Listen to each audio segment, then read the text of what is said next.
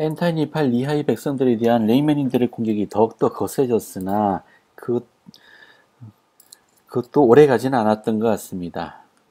자, 자기 형제들을 많이 죽인 레이맨인들은 그들의 분노를 이제 니파인들에게 돌리게 됩니다. 자, 니, 이들은 분노해서 앤타이 니파이 리하이 백성들을 죽여 왔습니다만은 죽여도 죽여도 이들의 분노는 가라앉지 않았습니다. 오히려 분노가 더욱더 커지고 있는 것을 보고 있어요. 자, 여러분, 분노는 결코 마음의 평화를 가져다 주지도 못하며 만족을 가져다 주지도 못합니다. 분노는 더 큰 분노를 일으킬 뿐임을 기억할 필요가 있습니다. 자, 분노가 더욱더 커진 레이맨인들은 니파인들에게 복수하겠다고 맹세하고 공격해 들어갔는데 그곳이 바로 에모나이아 땅입니다. 자, 에모나이아 백성들이 이 큰 성이 단 하루 만에 멸망한 이유는 그만큼 레이맨인들이 분노가 큰 상태로 공격해 들어왔기 때문이에요. 자, 이렇게 예, 예언은 성취됩니다. 하지만 그 거세게 니파인들을 공격했지만 에모나이아 땅 이외에서는 니파인들에게 되려 쫓기게 된, 되었습니다. 레이맨인들이 니파인들을 이길 수 없었습니다. 그 수는 레이맨인들이 훨씬 많았을지라도 니파인들은 하나님을 믿는 신앙으로서 뭉쳐 있었기 때문입니다. 자, 여러 가지 이야기가 언급됩니다. 음.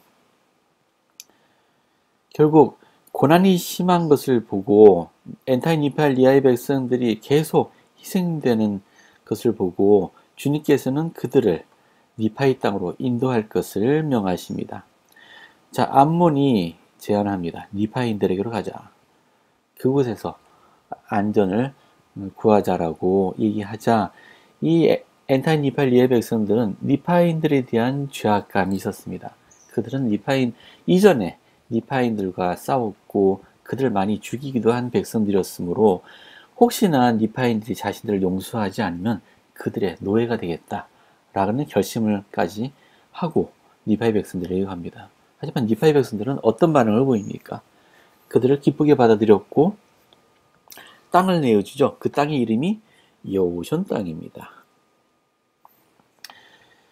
자, 이들이 레이맨인들을 피해서 왔으므로 니파인들의 땅 가운데서 저 후방에 예, 머물도록 했고 그뿐만 아니라 레이맨들이 쳐들어왔을 때 지나갈 수 있는 길목에 예, 군대를 배치해서 이 앤타이 니파이 리하이 백성을 지키게 합니다.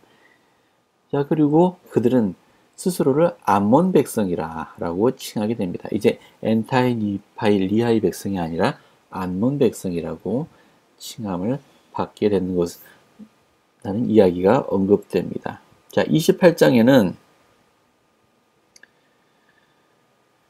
자, 레이맨들이 자, 그 앤타이 니파이 리하이 백성, 암몬 백성들을 쫓아 또 다시 공격해 오지만은 자, 니파이 백성들에 의해서 다시 격퇴되는 이야기가 언급되고 있습니다. 자.